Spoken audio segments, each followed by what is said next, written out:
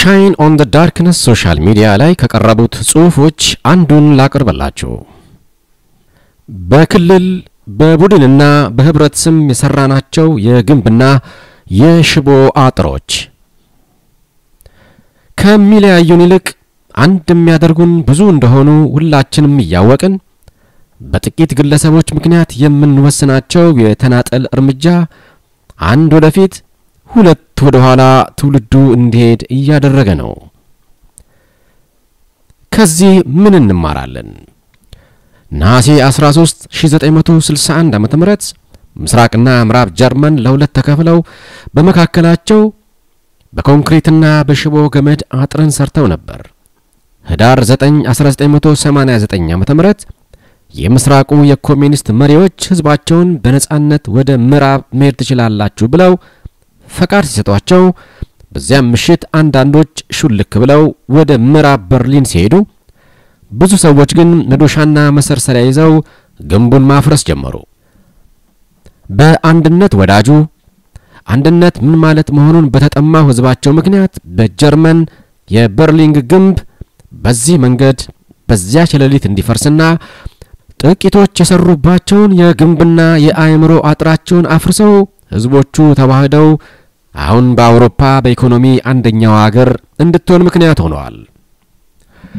ዛሬም የህዝቡን የልብ ትርታ ከማድመጥ ይልቅ ጥቂት ስልጣናቸውን፣ ተሰሚነትን፣ ክብርን፣ ዝናን፣ ገንዘብን በሚፈልጉ አሁን በስልጣን የተቀመጡና መቀመጥ በሚፈልጉ ግብግብ ምክንያት ህዝቡ ተግባብቶ እንዳያወራ የህዝቡንም ድምፅ አንዴም እንኳን ሳያዳምጡ አብሮ የኖረውን አንዱ በአንዱ ላይ የተመሰረተውን መሰረት እያፈረሱ ህዝብ በነጻነት ከአንዱ ቦታ ወደ አንዱ ጋር ሄዶ እንዳይሸጥ፣ እንዳይለውጥ ከሌላው የአካሉ ክፍል ጋር እንዳይረዳዳ አንድ አካል ሆነን የአንዱ አካል ውርደት፣ ስቃይ፣ ረሃብ፣ ህመም፣ ሐዘን፣ ለቅሶ ለሌላው አካል እንዳይሰማን እያደረጉ በክልል በህብረትና በነጻነት ስም በአእምሯችን ላይ የዘረኝነት፣ የግለኝነት፣ የጥላቻ የሽቦ አጥሮች ተገንብቶ እያየን ነው።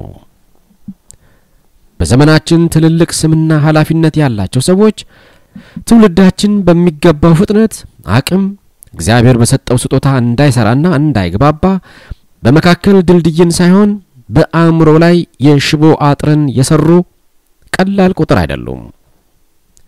ልክ ምስራቅና ምዕራብ ጀርመን ህዝቦች መዶሻ ይዘው ወጥተው ለዘመናት የተሰራባቸውን የሽቦና የኮንክሪት አጥር እንዳፈረሱት ዛሬም በዘመናችን በስልጣን በተቀመጡና መቀመጥ ለሚፈልጉ ግለሰቦች ጥላቻን ሲዘሩ ፍቅርን፣ መለያየትን ሲሰብኩን አንድነትን በማሳየት ዘረኝነትን ሲያቀነቅኑ ለከበረው የሰው ልጅ በመራራት አንድ ላይ በመሆን በአእምሯችን ላይ ያጠሩትን የጥላቻ፣ የሐሜት፣ የዘረኝነትና የቡድንተኝነት የመለያየት ያጥር ሽቦ እናፍርስ እንላለን።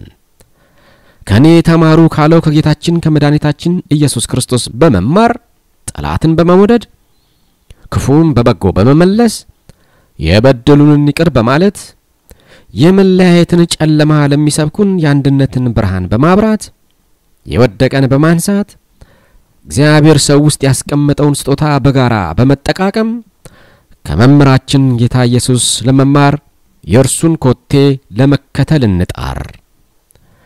ከሚለያዩን ይልቅ አንድ የሚያደርጉን ብዙ እንደሆኑ አውቀን ብዙ የመፍትሄ ሐሳቦች በብዙ ሰዎች ቢቀርቡም ከጌታችን ከኢየሱስ ብቻ በመማርና የእርሱን መንገድ ከመሄድ ውጪ ሌላ የተሻለ አማራጭ እንደሌለ አውቀን እርሱ ምን ይላል ለሚለው ብቻ ዋጋ እንስጥ።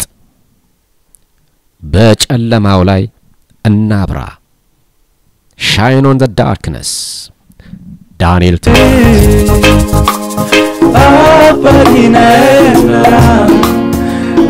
አባቴነህና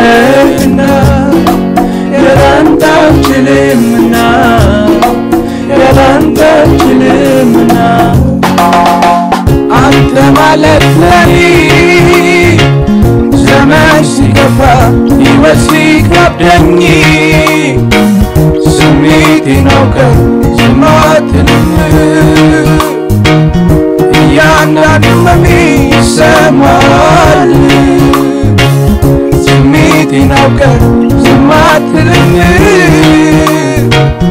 እያንዳንዱ መሚ ይሰማል